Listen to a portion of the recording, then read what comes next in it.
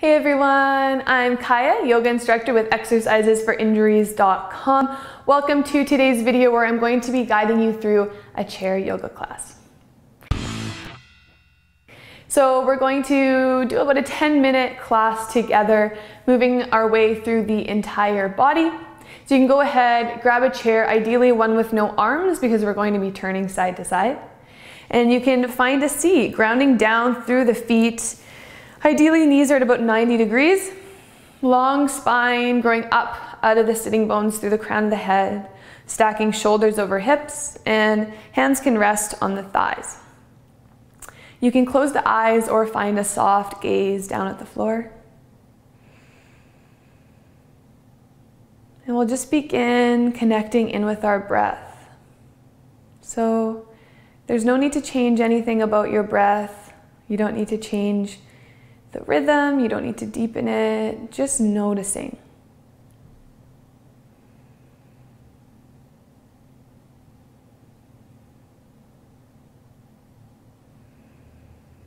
Noticing where you feel the sensations of the inhale and exhale.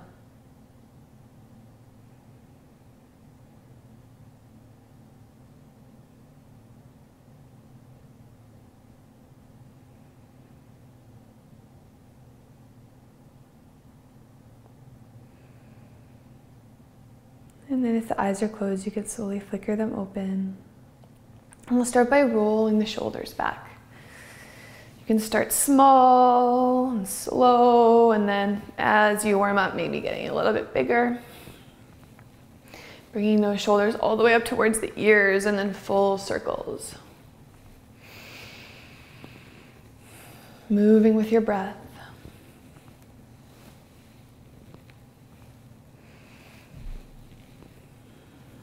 And then coming to stillness, and then we'll bring our right ear down towards the right shoulder.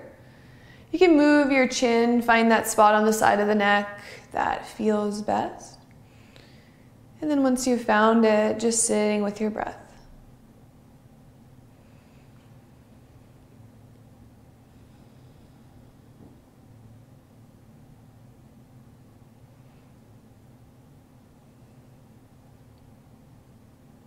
Maybe yawning.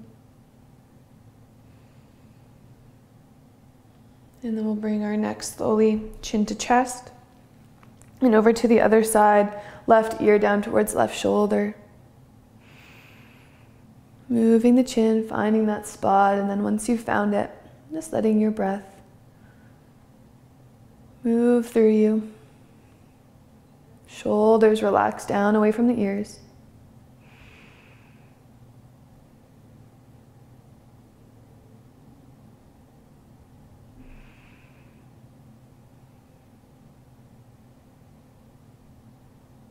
And we'll bring the chin back towards the chest and on an inhale, slowly come back up through center.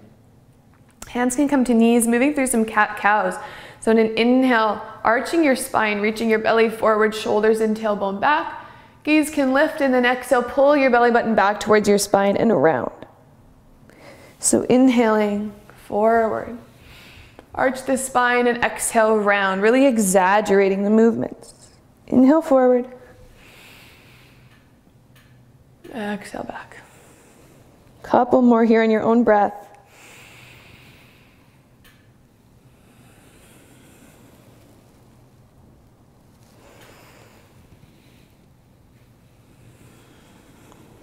Good. The next inhale, coming back through center. We'll inhale left arm up and then exhale, twisting to the right, left hand to the outside of the right leg. Each inhale, find length for your spine, and exhale, use your core and your hands to twist you deeper. Gaze comes wherever it's comfortable, so there's no need to look all the way back behind you.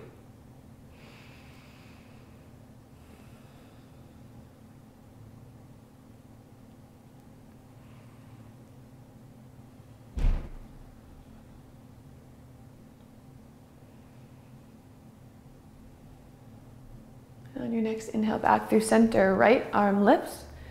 And exhale, twist to the left, palm to the outside of the left leg. Again, each inhale, lengthen the spine. And each exhale, twist a little deeper.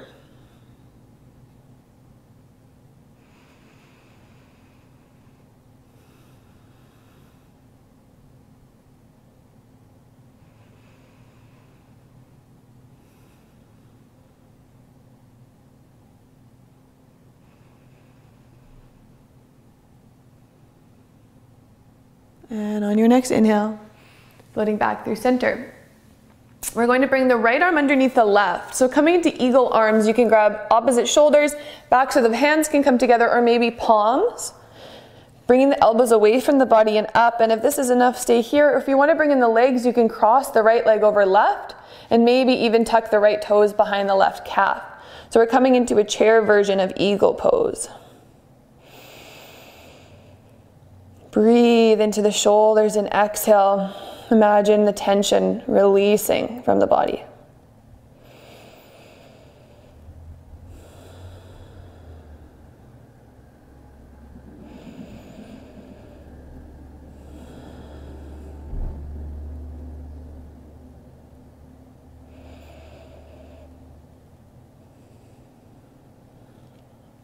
On your exhale, gently release. And then we'll bring left arm under right. And again, same options opposite shoulders, backs of hands, or palms. And then maybe left leg crosses over. If the legs are too much, just focus on the arms here. Pulling elbows away from the body and up, really opening through the upper back, shoulders, neck. Deep, full breaths.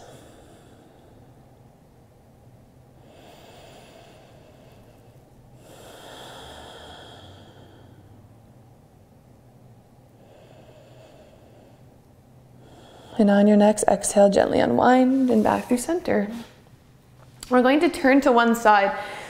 So I'm coming to the right, so my right thigh supported by the chair, left leg behind. I can use my right arm to grab onto the chair for support, pressing through the back toes to open up through the front of the left hip and thigh. And you can stay here, or you can bring that left arm up and over, bringing in a side bend, opening further through the hip and the side body and the shoulder.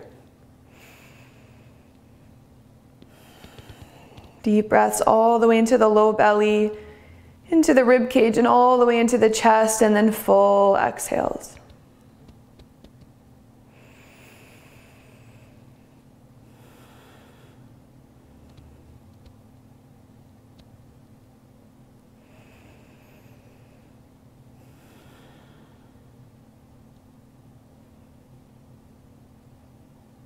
On your exhale, back through center. And we'll come onto the other side, this time left thigh is supported, right leg behind, both knees at about 90.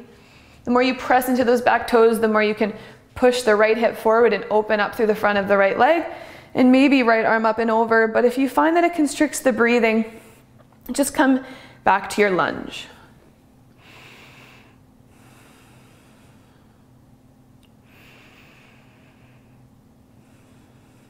Deep, full breaths.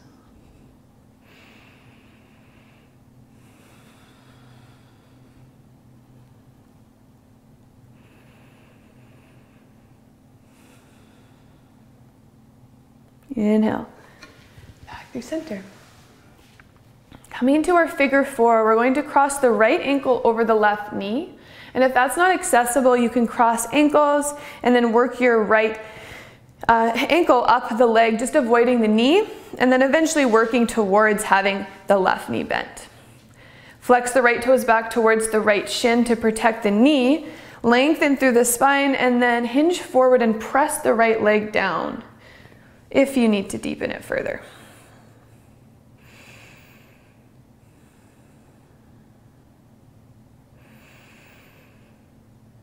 And come back to your breath.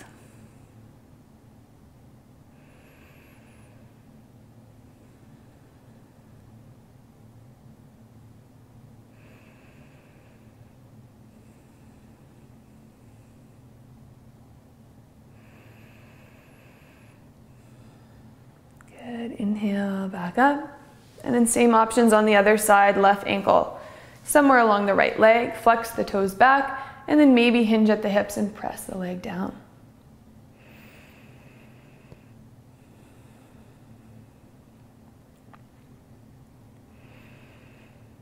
Breathe space into the left hip. And exhale, sink a little deeper.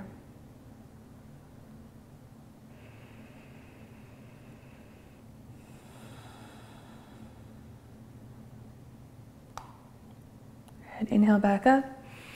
And then we're going to do a forward fold for our last posture. So lengthening your legs out in front of you, not hyperextending the knees, so slight bend in the knees, and then bring your toes back towards the shins. And if this is enough of a stretch through the backs of the legs, stay here to deepen hinge at the hips. We're not rounding through the spine. We're keeping the spine long, moving only from the hips and only coming as far as you can keep integrity in the spine.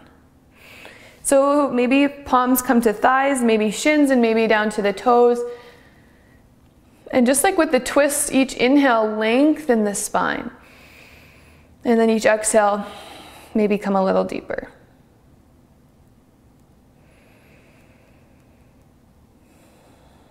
Letting go a little bit more each time you exhale.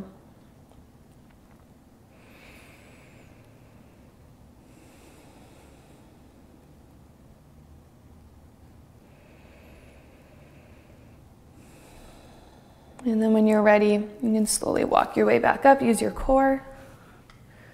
And we'll come back to our seat. Palms rest on the thighs, and again, finding a soft gaze or closing the eyes. And for one last minute, coming back to the breath.